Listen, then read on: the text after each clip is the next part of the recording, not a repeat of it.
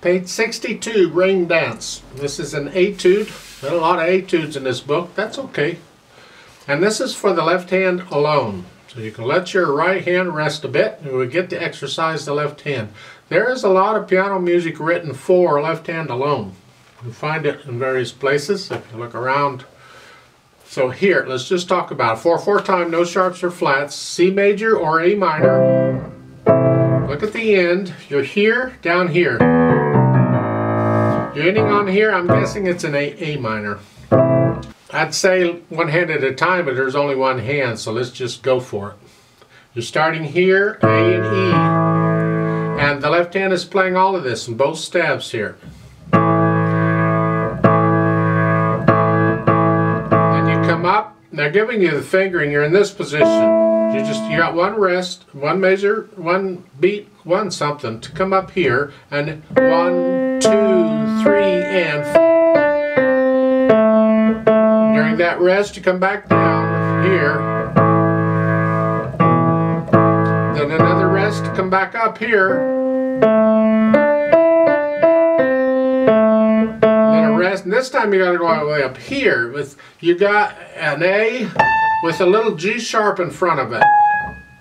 That is called a grace note. And there's different ways of interpreting these grace notes. In this piece, you play them pretty much at the same time and just let, let up on the A, or on the G sharp.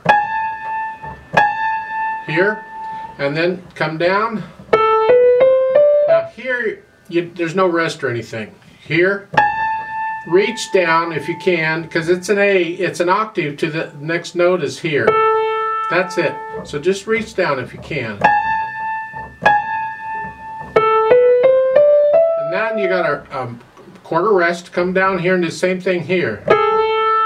And then reach down, and then a, a quarter rest to come back down here.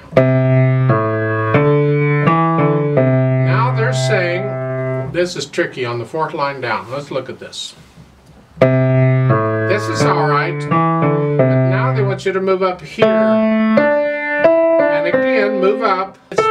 You're in the, these positions, and it's basically the same notes.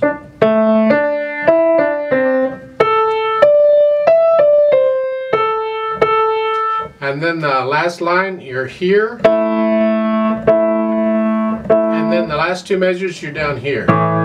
Here, and then down here.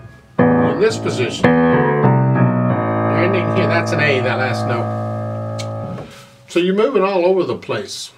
Get the notes all legato as best you can with your left hand and then we can go back and add in these staccatos and act. You have, see these little lines underneath the half notes at the beginning? Those are tenuto lines. You hang on to those as long as possible. Some people will treat tenuto lines like accents. A long time ago, they under they were, did represent a type of accent. I wasn't taught they were necessarily accents. They could be, but you don't need them. Just hang on to them. Make sure you don't play these short. Just, and then short, wrist staccato. And try and play them all the same loudness. I haven't talked about dynamics yet, but whatever the dynamic is going to be, these, make these the same loudness. And it's hard to do when you're using a different technique because then come up, and these are staccato, and then legato.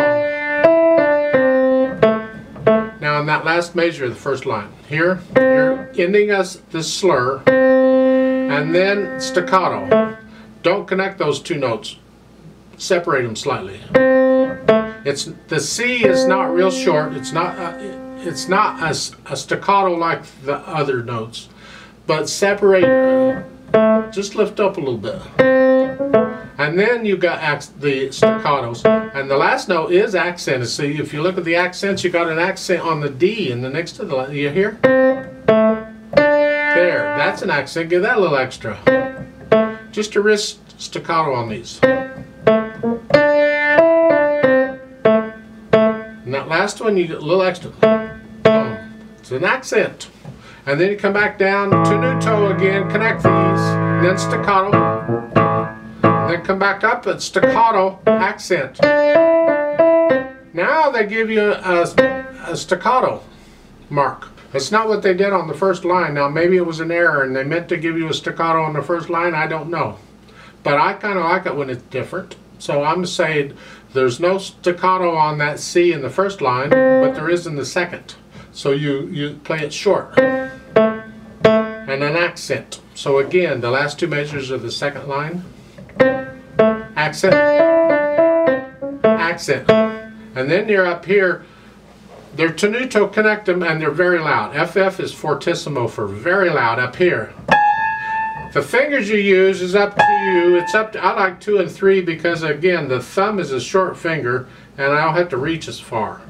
Don't lean. When you do this, mm, you turn the torso and reach up. And connect them. And then here. If you use two and three, then you need to get your thumb on it after you play it so you can reach the A down here. You're going to lift up between them, here to here. Lift up like between a slur. Rest again. Lift up. Rest. And then we're back here staccatos. Accent. Accent. Accent and there's no staccato here. So you separate it, but don't play it short. Accent the last note as best you can. It's a little finger. And then you come in here, these tenutos, loud. And down here, tenutos, connect them, and then accent. And that last note, hold that out a full beat. Don't cut it short. Off. I sort of did dynamics there. The thing is more or less loud all the way through. It's sort of loud here. You have to decide what that is. So we got sort of loud, and we got loud, and we got very loud. You have to decide what those are. And then whatever it is, it be consistent within the piece. It may change from piece to piece, but be consistent within the piece. So this is sort of loud. Sort of loud, accent. Then in the third line, now you're very loud. Now just loud. Back down to sort of loud.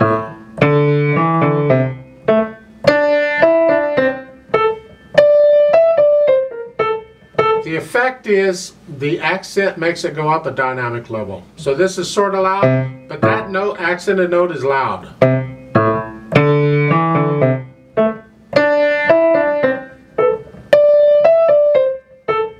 You get the idea.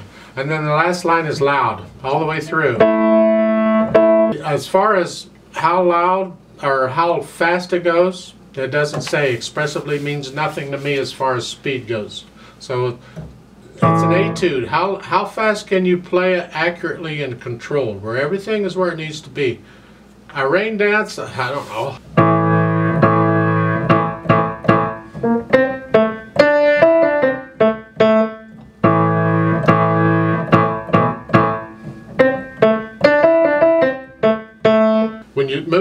Like this, you have to watch it because the beat goes on. Whatever it is, you don't hesitate. So slow it down if you have to until you can get it learned. I like to play it with you very, very slowly to double check the notes and the rhythms. I'm not going to do any dynamics. I'm not going to play it really loud. And we are going to go pretty slow here. That gives four counts. One, two, ready, go. One,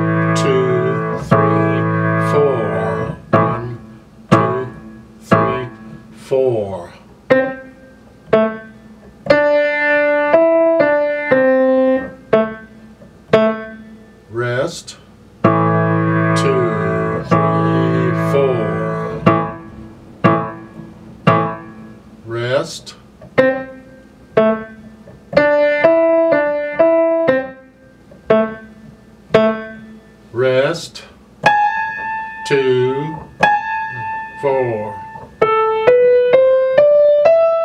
Rest. two, four, wrist,